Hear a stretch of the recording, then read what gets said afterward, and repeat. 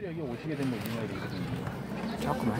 사실 수사 중에 있어서요. 제가 현재 검사이기 때문에 수사가 계속되는 동안 음, 자꾸 음, 얘기를 하게 되면 그게 수사에 어떤 음, 부담이나 그런 영향을 미치는 우려가 있어서요. 제가 외부 취급을 하지 않았던 것이고요. 오늘 이 상은 너무나 뜻깊은 상이기 때문에 제가 음.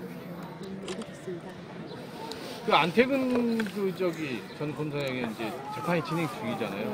뭐 이제 저 이전 같은 수사 결과에 대해서도 뭐 얘기가 있었는데 어떻게 좀 보시는지 사실 제가 여러 차례 이야기를 했듯이 수사 의지가 전혀 없는 수사였고요. 그래서 사실은 경- 검찰에서 이제까지 약간 곤란한 수사에 대해서는 어, 대충 수사해서 기소해서 법원에 떠넘기고 또 법원에 가서 무죄 받는 식으로 수사를 많이 진행했기 때문에 이번에도 그런 우려가 좀 많이 있습니다. 그래서 수사 과정에 있어서 수사 조사단이 조직될 때부터 수사단이 아닌 조사단을 조직을 해서 성폭력 전담 여검사들로 구성된 조사단을 조직해서 수사 의지가 없음을 뭐 처음부터 보여줬고요. 역시 음, 필요 이상으로 수사를 지연시키고 또 부실한 수사가 됐다고 우려를 하고 있습니다. 그래서 재판 과정에서라도 좀 충실한 공소 유지를 해서 음, 유죄를 잘 유지할 수 있었으면 하는 바람입니다. 검사님도 이제 2차 피해, 2차 가해를 많이 당하셨잖아요.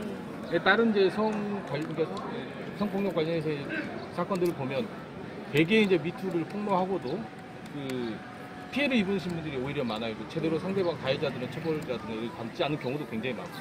그런 부분 좀 어떻게 생각하세요? 저는 2차 가해에 대해서 생각, 상당히 심각하게 생각하고 있고요. 음, 사실은 저도 그렇고 다른 피해자들도 나서지 못하는 이유가 2차 가해가 너무나 심하기 때문에 근데 제가 사실 굉장히 음, 각오를 많이 하고 나왔지만 쏟아지는 2차 가해들 때문에 힘이 들었습니다. 그리고 그 2차 가해가 특히 법무부 검찰 조사단에서 주도적으로 2차 가해를 저희도 가했고요. 그래서 그런 2차 가해 문제를 굉장히 심각하게 생각하고 음, 개인적인 어떤 의미보다는 그런 것들 때문에 피해자가 앞으로 나서지 못하는 현실이 있기 때문에 그것을 검찰에 수회 그 2차 가해를 처벌해달라 조사를 해달라고 요청을 했는데 수사조차 이루어지지 않는 것으로 알고 있고요. 시민단체에서 고발한 것으로 알고 있어서 지금이라도 그런 2차 가해에 대해서 고발을 고발 사건에 대해서 수사를 충실히 또 엄격히 수사를 해서 그런 2차 가해를 좀 방지하는 그런 대책이 있었으면 합니다. 5.18 당시 계엄군에 의한 여성들 성폭행 사건 최근에 거의 접하셨을 텐데요. 그것과 관련해서 어떤 저 이 소위가 드셨는지 한 말씀 해주십시오. 그 폭로하신 분께서 저를 언급하시면서 폭로를 하셔서 저를 좀 굉장히 뭐 송구스럽게 생각하고요. 또 저로 인해서 용기를 내셨다고 한다면 굉장히 영광스럽게 생각합니다. 사실 5.18 때도 그렇고 많은 역사적인 순간에서 여성들이 그런 성적인 피해를 본 시절이 긴 세월이 있었던 것으로 알고 있습니다.